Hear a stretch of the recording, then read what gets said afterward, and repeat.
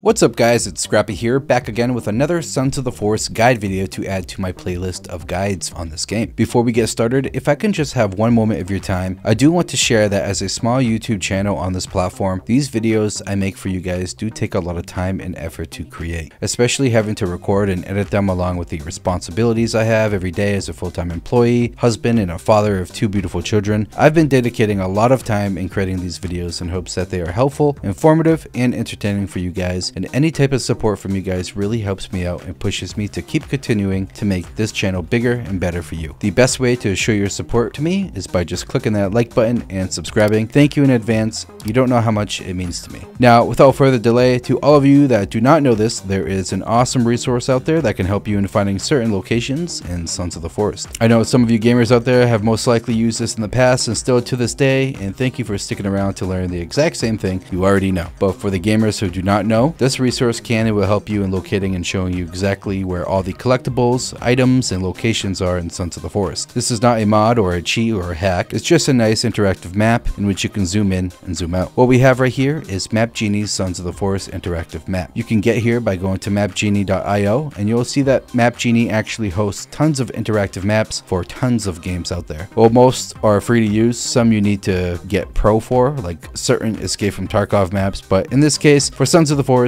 this map is free. It's been out for a while now, ever since the game came out basically, but it's always being updated and it's very easy to use. So right here, you just click on the map and it will pull up Sons of the Forest map. You'll see all sorts of things on this map and it might be a little overwhelming at first. The best thing to do is go all the way up to the top left corner and click hide all. This will hide all the icons so you can navigate through this the way you want. In the panels to the left underneath hide all, you'll see locations, collectibles, items, natives, wildlife, and other maps will have obviously different categories but here, if you want to find a certain location, all you need to do is click whatever one you want to find on the map. For instance, say you already completed some caves, but you want to find another cave. You can just click on cave entrances and it'll show you where they are. And this goes for everything on here. If you need to know where the key cards are, you can click key cards and it will show you where you need to go and where it is on the map so you can go collect them. And for instance, if you are playing with your friends, let's say like on hardcore and you need to know where some item locations are so you can restock, you can click on whatever item that you're looking for and it'll show you where this particular item will spawn. So that way it'll just make it easier for you and your team to know where to go to collect those items. You can also click on weapons and gear and go to that location and find what you're looking for. And when these icons pop up on the interactive map, you can actually hover your mouse over these icons. For instance, if I click weapon, once I hover over it, it's going to tell me what weapon it is. So if you're looking for something specific or if you want to go collect all the weapons, this is your best bet. If you want to find wildlife to hunt for food and resources, resources, you can scroll down to wildlife and click on what you're interested in locating. And if you want to find where graves are so you can dig up and find some items and resources, you can go to other and click on grave and basically whatever you want. To scroll in and out, all you need to do is just use your mouse wheel or the plus and minus icon down here in the bottom right. Like I said previously, it's always being updated with new updates and content that comes out for the game and is very resourceful in helping you locate assets and places within the game along with helping you even find a nice base location to build. The link will be in the description, or you can just go on Google and search mapgenie.io. I highly suggest favoriting it and bookmarking it, and is an overall very nice, free, and easy resource to have at your disposal. Alright guys, well this is a very quick and hopefully informative video for all of you guys that didn't know about this. I hope I showed some of you guys something new today. If you guys have any video ideas or guide ideas or even game ideas for me to cover, let me know in the comments down below. I'd love to make a video on it. You can also find me online almost daily in my Discord hanging out. The Discord Discord link will be in the description. And we have over 200 plus members now, and it's slowly growing each week. Hope you guys have a wonderful day and take care.